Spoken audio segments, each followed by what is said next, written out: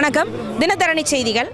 நெல்லை மாவட்டம் Palayamkottai MKP Nagar doctor Ambedkar காலனியில் பாரதிய ஜனதா கட்சியின் மகளிர் அணி மற்றும் மருத்துவ பிரிவு சார்பாக நிலவேம்பு கஷாயம் வழங்கப்பட்டது. இது குறித்து பாரதிய ஜனதா கட்சியின் மகளிர் அணி தலைவி நம்மிடம் கூறியதாவது.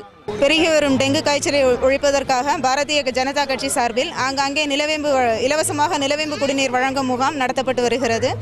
அதன் தொடர்ச்சியாக பதினாறாவது ward MKP MKP Nagar NKP Nagar Ambedkar காலனிக்கு உட்பட்ட பகுதியில் இன்று பாளையம் ம- மண்டல மகளிரணி சார்பில் மருத்துவ பிரிவு ஒத்துழைப்புடன் நிலவேம்பு கஷாயம் கொடுக்கப்பட்டு வருகிறது.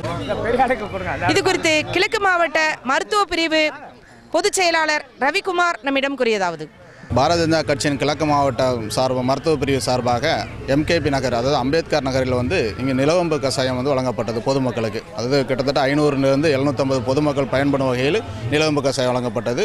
அதாவது என்னென்னா அங்கிருந்து டெங்கு காய்ச்சல் வந்து வாரத்துக்கு வந்து மூன்று கேஸுகள் வந்து டெங்கு காய்ச்சல் வந்து பதிவு செய்யப்பட்டதாக ஹெல்த் இன்ஸ்பெக்டர் தகவலின்படி இங்கே கிழக்கு மாவட்டத்தின் மருத்துவ பிரிவு வந்து துரிதமாக செயல்பட்டு இங்கே அனைவருக்கும் நிலவம்பு கசு வழங்கப்பட்டது. இப்போது வந்து காய்ச்சல் கட்டுக்குள் வந்துள்ளது.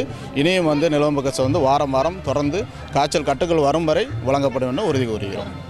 தொடர்ந்து மூணு நாள் கொடுக்குறீங்க ஆ. முதல் நாள் தொடர்ந்து அடுத்து கொடுப்பீங்களா? இல்லை அடுத்த வாரம் கொடுப்பீங்களா? இல்லை தொடர்ந்து தொடர்ந்து அடுத்த வாரம் தான் கொடுப்போம். ஏன்னா மாநகராட்சியிலேருந்து மறுபடியும் அவங்க கொடுத்துக்கிட்டு இருக்கிறாங்க. இது இடப்பட்ட நாளில் மூணு ஆமாம் மூணு வாரமாக கொடுப்போம்.